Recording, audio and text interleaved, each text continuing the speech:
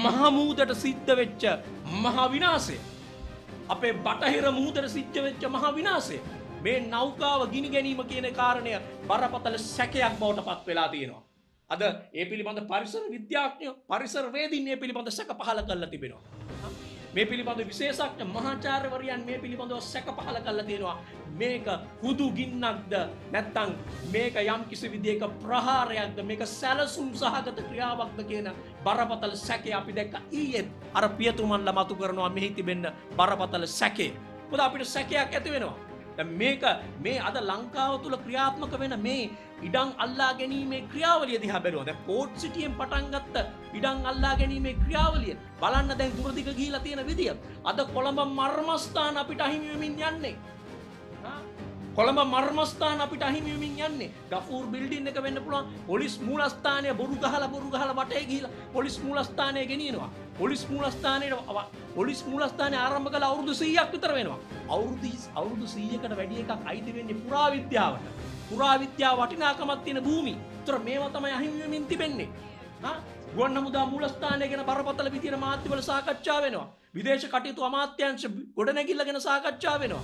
යෝක් වීදියේ තියෙන ගොඩනැගිලි ගැන සාකච්ඡා වෙනවා. වෝටර්ස් එජ් එක ගැන සාකච්ඡා වෙනවා. අර රාජගිරියේ තිබෙන අර රාජගිමි අධිවේගී මාර්ගය අවුරුදු 18කට චීනුන්ට දෙන්න යනවා. එතකොට මෙන්න සැලසුම පෝට් සිටියකින් පටන් අරගෙන ලංකාවේ කොළඹ තිබෙන මර්මස්ථානයකින් එක අපිට අහිමි වෙමින් යනවා. අන්තිමේදී ලොක්ඩවුන් එක ඉවර වෙලා අපි වැඩට යන්න යනකොට කොළඹ නගරයට ඇතුල් වෙන්න චීනුන්ගේ තානාධිපති කාර්යාලයෙන් වීසා ගන්න වීසා ගන්න අපිට ලිමුත් තිබුණොත් වීසා ගන්න නියම වුණොත් ඒක පුදුමයක් නෙමෙයි. චීනගෙන් වීසා අරගෙන අපිට කොළඹට ඇතුල් වෙන්න වෙයිද කියන බරපතල සැකයක් තියෙනවා. ලොක්ඩවුන් එක ඉවර වෙලා අපි වැඩට යනකොට. ඒතර එවැනි තත්ත්ව දවසින් දවස මේ කොහොමද කරන්නේ? මේ මිනිස්සු තමන් මරබියේ ජීවත් වෙද්දි මිනිස්සුම ගෙවල් වලට හිර කරලා තියලා මේ මිනිස්සුන්ට තියෙන ආදරයට නෙමෙයි මේ ලොක්ඩවුන් එක දැන් ක්‍රියාත්මක මේ මේ හත් වෙනිදා දීපිච්ච ලොක්ඩවුන් එක හිටි හැටිම 14 වෙනිදා දක්වා ගියේ කොහොමද? සැලසුම් හදලා තියලා. හැබැයි ඊයේ මොකද මේ මේ මේ තිබෙන ප්‍රශ්න පිළිබඳ ජනතාව පාරට බහින්න නියමිතයි කියන සංඥාව ඊයේ පියතුමන්ලා දුන්නා. දීවරයෝ පාරට බහින්න නියමිතයි කියලා ඔන්න සංඥාව දුන්නා. ඒගොල්ලෝ පාරට බහිනවා මේ වෙනුවෙන් කියලා. කිව්ව ගමන් සතියක් දික් කළා. කිව්ව ගමන් සතියක් දික් අන්න එක තමයි හොරාට ගනින් කෙහෙල් කන වැටපැන්නා.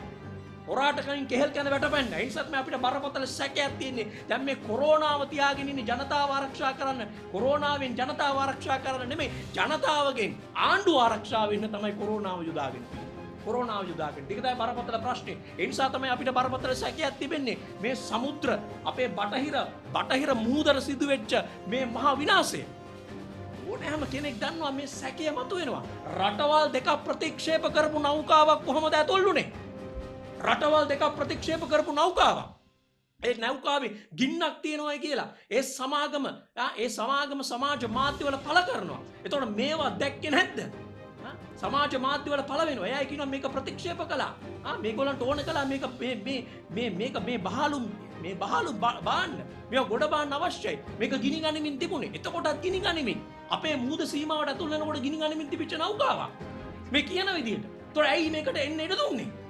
කවුද මේක තීරණය ගත්තේ? ඇයි මේවා හොයා නොබැලුවේ? ඒ නිසා තමයි බරපතල සැකයක් මතුවෙන්නේ මේක සැලසුම් සහගත දෙයක්ද මොකද මේක ගිනි ගත්තට පස්සේ අපිට පේනවා දැන් අපේ පරිසරය සම් මුහුද ගොළු මුහුදක් බවට අපේ බටහිර මුහුද ගොළු මුහුදක් බවට පත් වෙන්න නියමිතයි. බලන්න අර බලන්න අර අපේ සතා සිව්පාවට වෙලා තියෙන මුහුදු ජීවින්ට වෙලා තියෙන දේ දවසින් දවස ගොඩ ගහනවා සත්තු මැරිලා.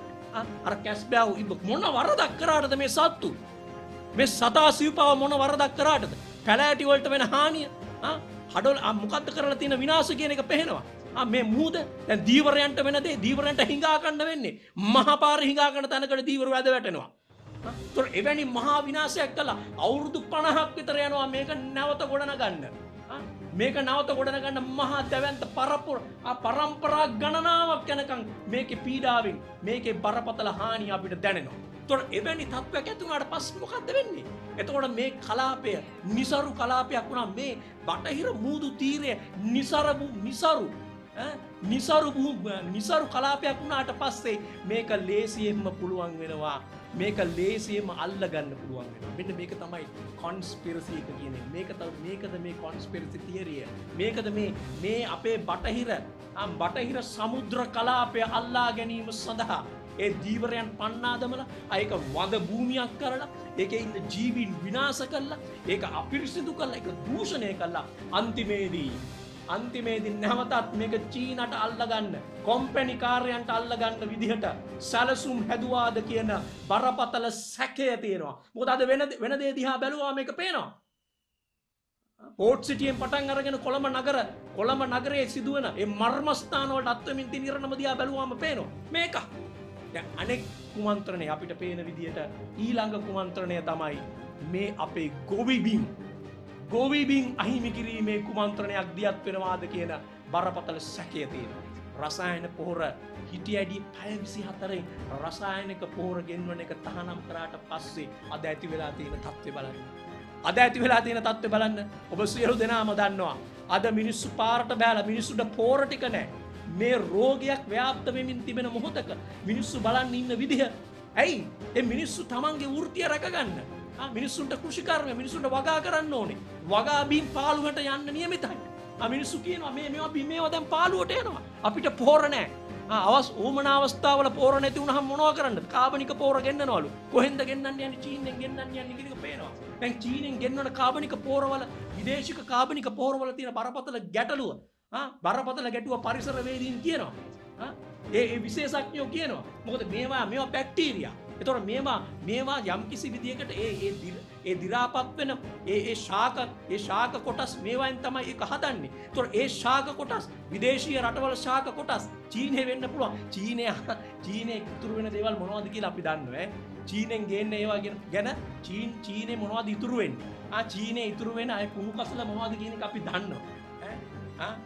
චීන ඉතුර වෙන කුණක කැබැල්ලෑ වගේ හම ඉඳලම අයිබ්බගේ හම ඉඳලම වවුලගේ හම ඉඳලම නොකන මලදානයක් නැති රටක් චීන කියන්නේ. තොට ඒක ඉවත දාන දේවල්.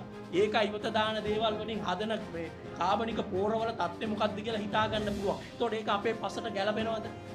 ඒ ශාක ඒ ශාක පෝර අපේ පසට ගැලපෙනවද? මෙන්න මේක බරපතල ප්‍රශ්නයක් කියලා තමයි මේ විශේෂඥයෝ කියන්නේ. Breaking.lk